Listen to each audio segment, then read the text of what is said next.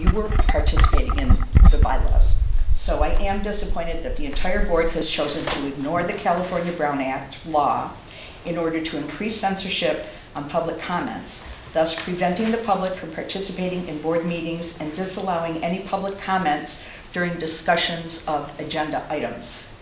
Section 54954.3 states every agenda for regular meetings shall provide an opportunity for members of the public to directly address the legislative body on any item of interest to the public before or during the legislative body consideration of the item that is within the subject matter jurisdiction of the body.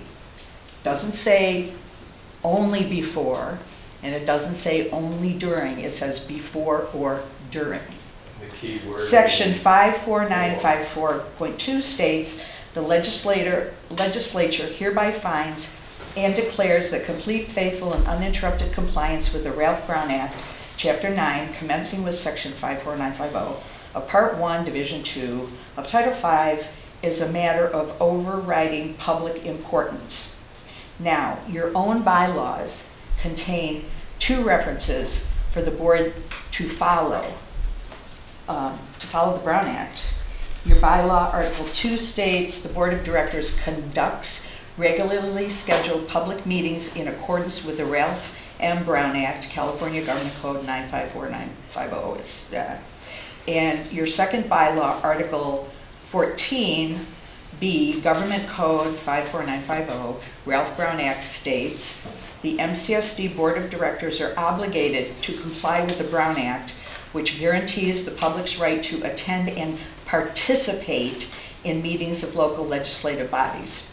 This board has now created their own bylaws, which are always superseded by the Brown Act laws. Now the board only wants comments without allowing the public to participate in discussions, debate, or Q and A with the directors or staff. Ms. The Barnell, board debates Three minutes are up. excuse me? Your, your three minutes are up. Thank you. Thank you. Is there anyone on district or staff who care to address that? I will say something. This also is from the Brown Act. The act specifically authorizes the legislative body to adopt regulations to assist in processing comments from the public. The body may establish general procedures for public comment, as well as specifying reasonable time limitations on particular topics or individual speakers. So long as the body acts fairly with respect to the interest of the public and competing factions, it has great discretion in regulating the time and manner as it distin- distinguished from the content of the testimony by interested members of the public. Thank you, Director Naylor. I will add to that, that every agenda item that we have corresponds to Rosenberg's Rules of Order, which allows for the items to be introduced by district board or staff.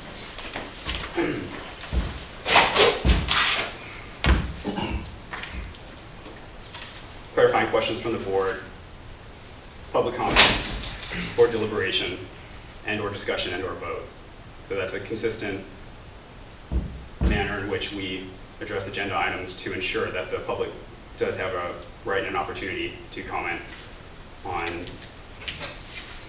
any item on our agenda.